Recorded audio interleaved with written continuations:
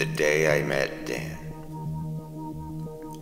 I don't see the need for a distinction, said Carl, closing the sliding glass of the back door. He found himself in a kitchen with tile floors frozen in the decade of their imagining, an abuse of oak, and an otherwise spacious and tidy kitchen. Carl had never been to Dan's house. He had just moved into the neighborhood a few months ago and had merely waved at the fellow from down the street, the better part of a block, just to get the trash bin from the curb and sprint back. He was still in slippers and robe, but somehow got smuggled from a wave into a stranger's home. I can't stay long. I haven't even dressed. Nonsense, Dan called back.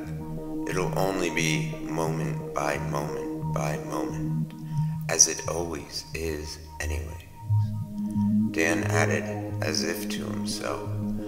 I could hear him rustling through a drawer or something in the other room, not sure which or where. Having just entered the kitchen, taken a few steps and couched by the island, the multiple doorways all open like the main intersection of the house lay to my left.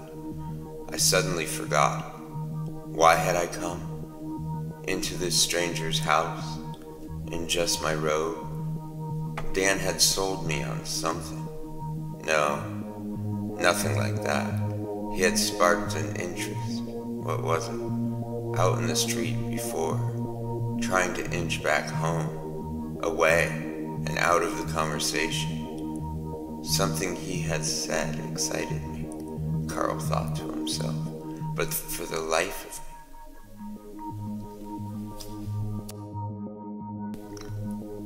All truths of the mind can be the outliers of a crime. Dan came stumbling in, holding a matchbox, what appeared to be a hand rolled cigarette, and a small, rather abused paperback book. Let's go out back. It's nicer there and we are going to smoke a little of this, pointing to the cigarette.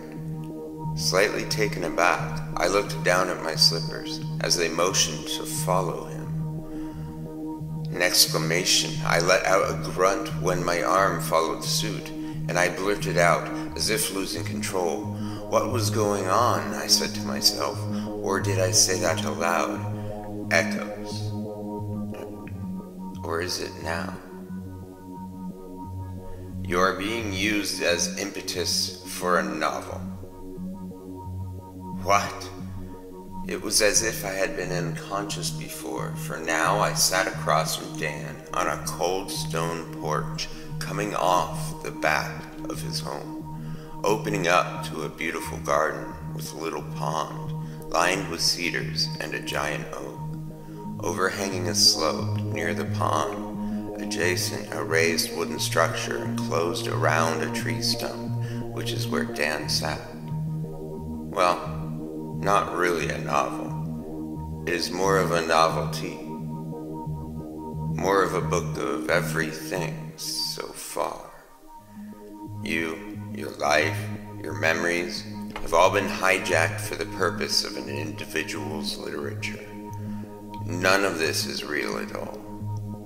Soon that cigarette I gave you will remove you from this world you regularly know. Regularly know? Now hold on a second. This is absurd. Who do you think you are? When did I smoke? When did I even sit down? All of your life, your loves, your hates, your identity will fall away from you as you are drained of what is false to you. The things that may have felt pressing or important have no real substance.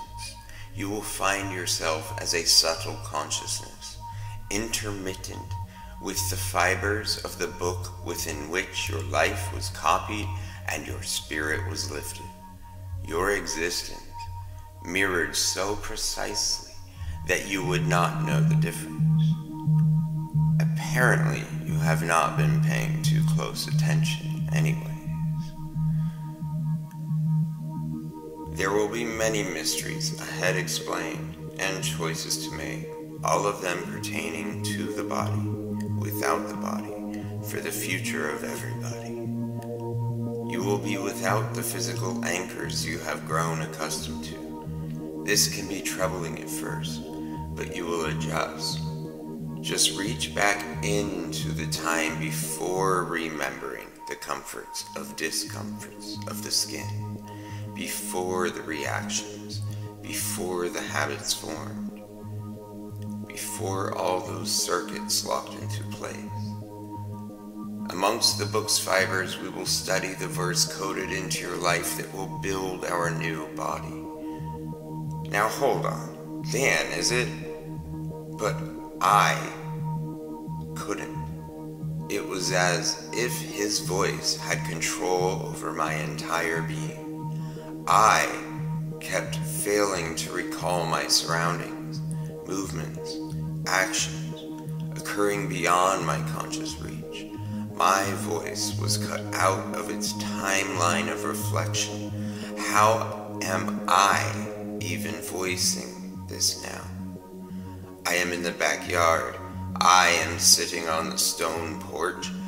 I am surrounded by trees and light, the sound of birds. No, no you're, not, a voice boomed in, knocking my vision through the stone porch into the blank whiteness, the still verse floor. I see no need for the distinction.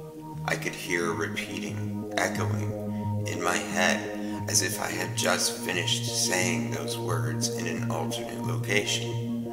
Oh. Oh. Replacing that time locked kitchen behind the closing back door, I swayed now into the pages of bits of information. Recollected data all flowing through the spaghetti of white fiber, describing everything and the kitchen. I see now, said Carl.